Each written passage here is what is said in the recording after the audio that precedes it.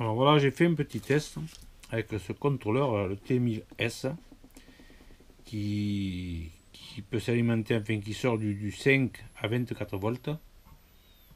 Le programme qu'on y met dans la carte mémoire avec LED Edit, ça transmet après ce qu'on a mis dedans aux bandes LED. Alors là, vous avez des pixels LED 2811 qui sont en 5 volts sont alimentés là-dedans en 5 volts. Et là, vous avez cette bande LED pixel, toujours, hein, pixel WS2811 en 12 volts. Alors, j'étais pas sûr que ça fonctionne, je l'ai essayé, je l'ai branché, j'ai dit tant pis si ça grille, et je vois que ça fonctionne. Alors, le, ce petit contrôleur peut sortir du, en même temps du 5 volts, alimenter cela là. 5 volts et celle-là en 12 volts. Voilà les, programmes, tac. Les programmes qui sont déjà préenregistrés dedans.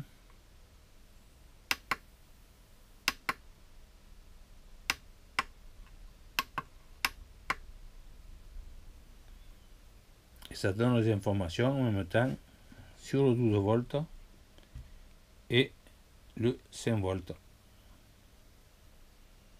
Alors, je sais pas si vous avez déjà essayé. Voilà ce que ça fait. Alors là, je pousse la carte mémoire maintenant. Et ça sort les informations qu'il y a dans la carte mémoire.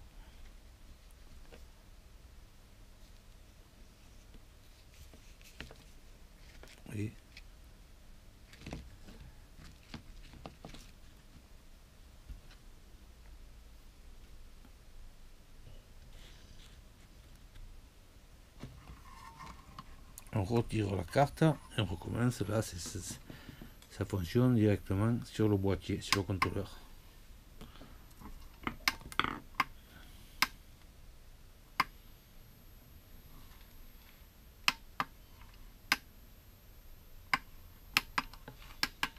Il a bugué.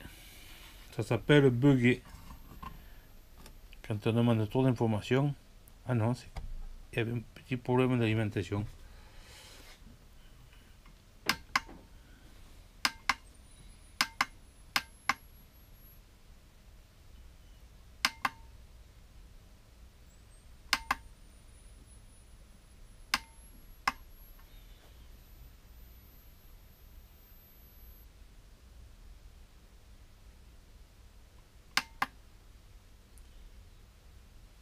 Voilà.